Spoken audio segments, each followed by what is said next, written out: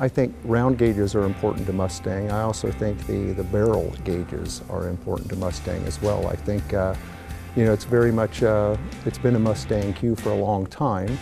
Uh, we had them, you know, early on and then we kind of came back in 2005 and we said this is definitely a cue that we want in a Mustang interior. If you think back to 1964, 64 and a half, uh, the first gauge cluster was actually a long speedometer with two round gauges on each end of it.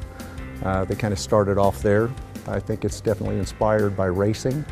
A lot of race cars have those kind of gauges on them. But we just felt like it was a tremendous opportunity for us to really achieve a beautiful sporty look when you're looking deep down in that tube and you see the gauge back inside there. It's a, it's a great opportunity to light it a certain way. Uh, it's a great opportunity to use you know, the, the face of the gauge to really create a certain look. And I think that uh, it's really, really important to us.